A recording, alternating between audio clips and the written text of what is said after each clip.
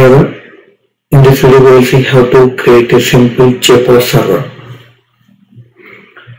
So we're coming into the topic. Uh, so in this video we are going to create a simple JPOS server uh, using Eclipse and Java tab. So first we need to create a project with Maven, uh, Maven. Then we need to add the uh, dependencies from the Maven. So I have added the ORG JPOS and the JPOS 2.1.7 which is latest. And next uh, I'm going to uh, create a class and give with a class. Um, uh, here in this class I'm creating uh, ISO package with my configuration file of uh, XML which will have all the uh, field details. So the field will have from 0 to 128 fields field from 0 to 128 fields in our uh, XML file. Each field has an importance of uh, its own uh, in own position.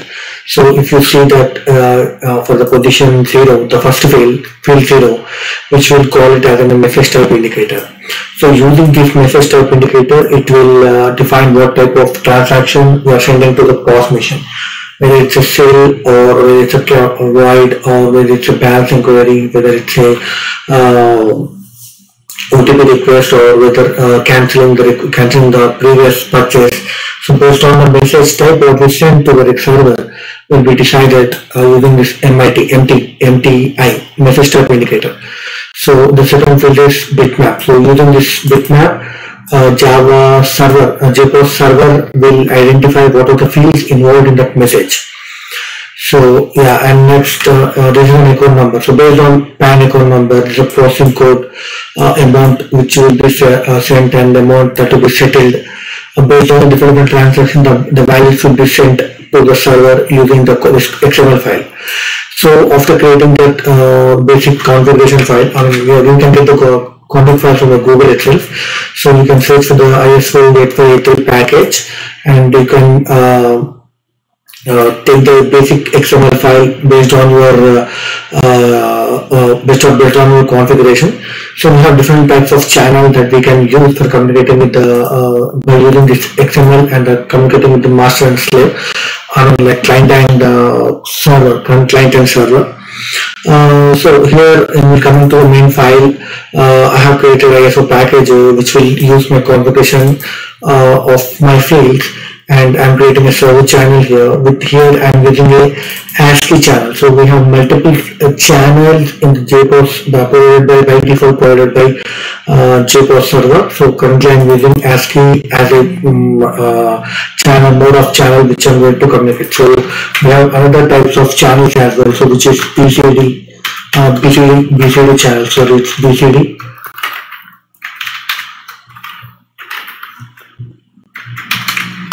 BCD channel. We have an BCD channel. And uh, next, if you go to the uh, packages where we have all this information, you will uh, we have five to six channels which we use for the communication, and we can still we can com, uh, customize the channels by still extending these channels. So we have ASCII BCD MX channel base 24 uh, channel pool, CSC channel, uh, FSDC. So we ordered all types of channels what we have currently uh, with the JPOS. So if you want to extend of your channel and uh, if you want to change the uh, uh, way of communication for your communication between POS and the server, then we can extend these classes and we can change we can we can write it our own code in our child classes. So uh, as I'm not uh, using any uh, custom communication channel, I'm using a default one which is provided by already JPOS server. So I'm using the ASCII channel, and here I'm creating the server with the port number and the channel what we are using. So we are using the ASCII channel here. and next I'm adding my listener, my actual code uh, where my uh, method has to be override, method has to be take care uh, for this uh, each and every request. So we here I'm adding the uh, listener, my listener here. Uh, this is my class which I'm creating here, so I'm using here. So for this ISO listener, uh, we need to we going to implement uh, uh, this user method which uh, which we are uh, implementing. So uh, the ISO ISO listener which we are extending implementing the ISO request listener, and this is a method which is going to work when on each request is each request came to server. So here if you see that and we are getting the channel of get socket uh, InetAddress, we are getting the address here uh, and then uh, we are getting address, just, just, just address, just printing the address itself. So uh, just uh, and receiving a message.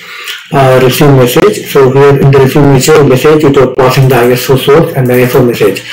So ISO source will have a uh, sender address and the details of the uh, connection established uh, uh client from the client client request it will have a client data from which we should task in and this is the message actually message what we have we, we got it from the uh, client Okay, so just we are not doing any validations here currently because additional mock and temporary uh, server which to showcase. So I'm not implementing any of this uh, any of this uh, uh conditions here. So based on the each condition, so let's take uh, we can put a switch condition here with the message type. So if you message type to uh, double zero, then it will will will, will send our ISO message uh, for validation to a respective uh, uh, respective transaction. Let's say uh, respective transaction. And uh, if you send one one uh, zero one double zero, it's a different type of transaction. Uh, one three double zero, it's a zero three double zero, it's a type of transaction. So here we can add a switch case. Here we can add a switch case, and we can send a message for validation to the respective transaction and process the respective transaction conditions. So based on the based on the uh, transaction, we need to specify what fields we require, uh, what fields we require. So if you're taking, uh, if you decide to double zero as an uh, field transaction, so what are the fields we require for field trans transaction? So we need an account number, and we need an amount which we using for the transaction, uh, amount for the transaction. And we need a pin pin uh, so we're doing with the uh, date and time where we are doing the uh, depending on where we're doing the transaction merchant type first what type of merchant it is.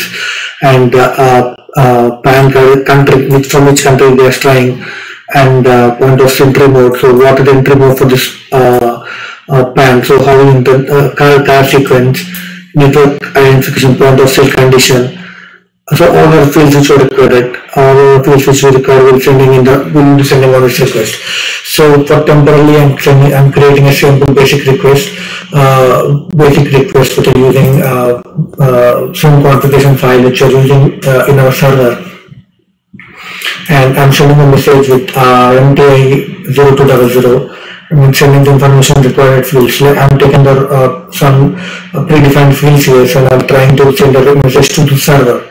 So let's start the server first.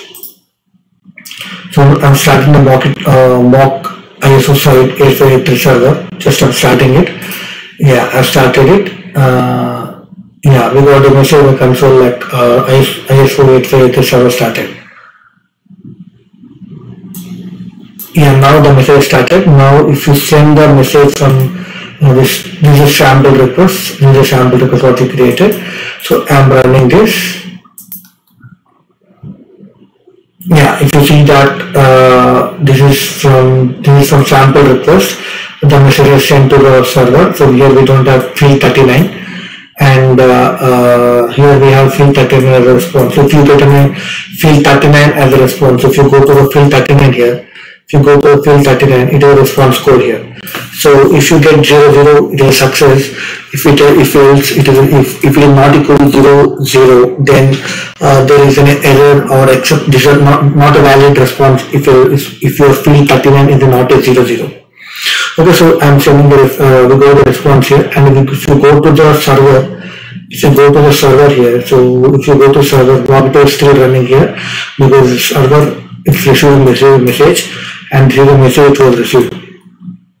Okay, this is a message it was received.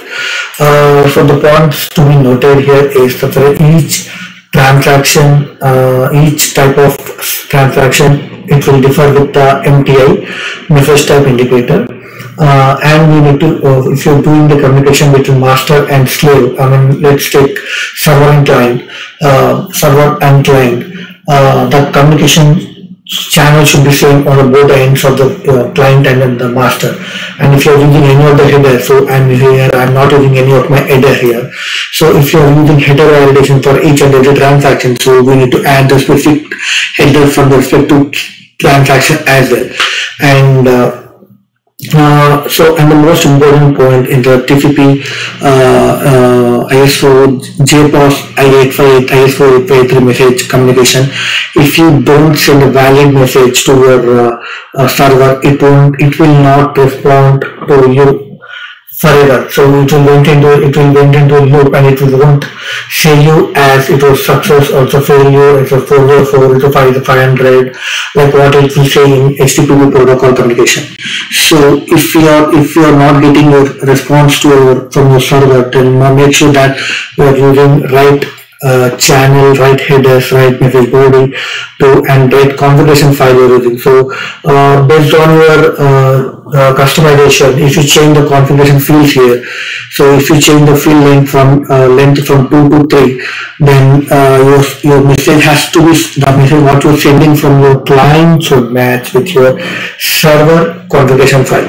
So if both are not same, then if both are not same, then your message is going to some different uh, stage and it will understand the different it will understand it as a different message and uh, you will not get a response forever thanks for learning friends